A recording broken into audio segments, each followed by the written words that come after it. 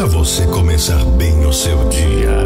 Ouça agora a mensagem motivacional do nosso amigo Janinho Bio.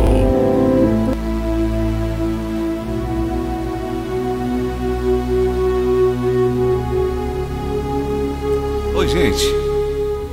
Tudo bem?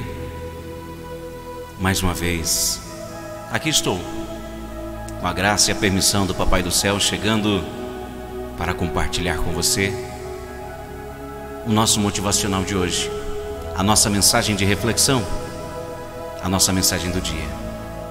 Gratidão a Deus pela vida, gratidão a você pela atenção onde quer que você esteja. Nossa mensagem de hoje diz assim: olha, existe um homem,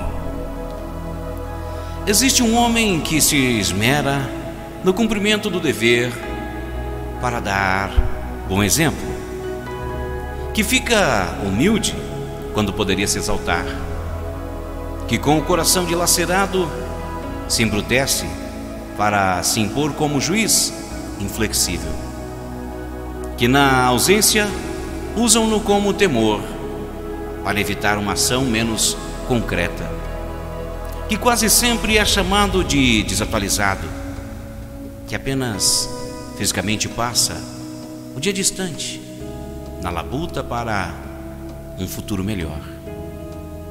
Que ao fim da jornada, avidamente regressa ao lar para levar carinho e às vezes um pouco receber. Que está sempre pronto para ofertar uma palavra orientadora ou relatar uma atitude benfazeja que possa ser imitada. Que muitas vezes passa a noite mal dormidas a decifrar os segredos da vida, para transmitir ensinamentos sem as naturais vicissitudes, que quando extenuado ainda consegue energias para distribuir confiança, que é tão pouco humano e sensível por isso, normalmente sente a ausência do afeto, que lhe é dado raramente e de uma forma pouco comunicativa vibra, se emociona e se orgulha pelos feitos daqueles que tanto ama. Este homem geralmente se agiganta e passa a ser valor inexorável quando deixa de existir para sempre. Nunca perca, pois a oportunidade de devotar muito carinho e amizade àquele que é sempre, ou na maioria das vezes, o nosso melhor amigo. A você, meu Pai, bom dia, saúde e vida longa.